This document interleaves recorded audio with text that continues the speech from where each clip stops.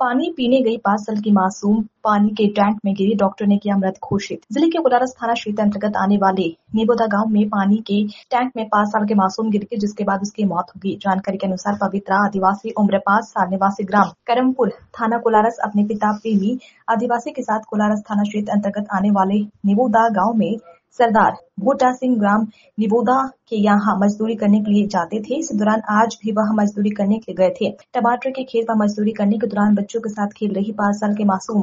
पानी पीने के लिए पानी के टैंक की तरफ़ गई लेकिन पानी के टैंक में गिरने से पाँच साल के मासूम की मौत हो गई। मैं आपको बूटा सिंह। कहाँ के रहने वाले निबोदा।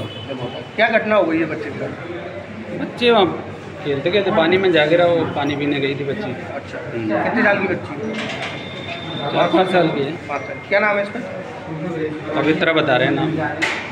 ये खेत पे आप काम कर रही है?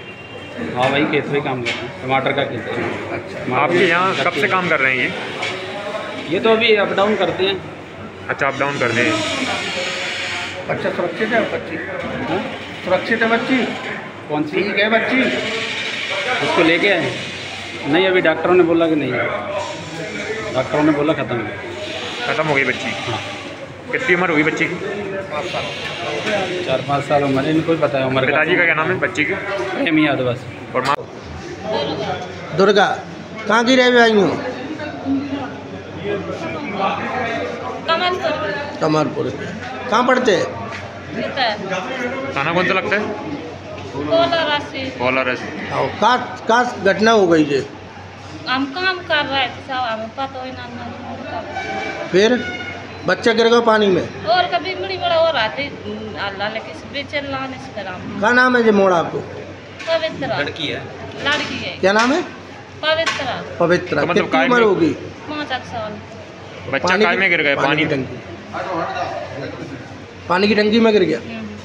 पिताजी का क्या नाम है बच्चे के? प्रेमी। हाँ? प्रेमी। कब, कब की बात है जी? आठ बजे करता नहीं। आठ बजे।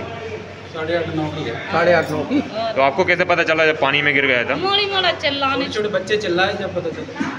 तो उस टाइम जब आपने निकाला था कौन ने निकाला था वहाँ? तो ये तो भैया। जी भाई के मुकाबले।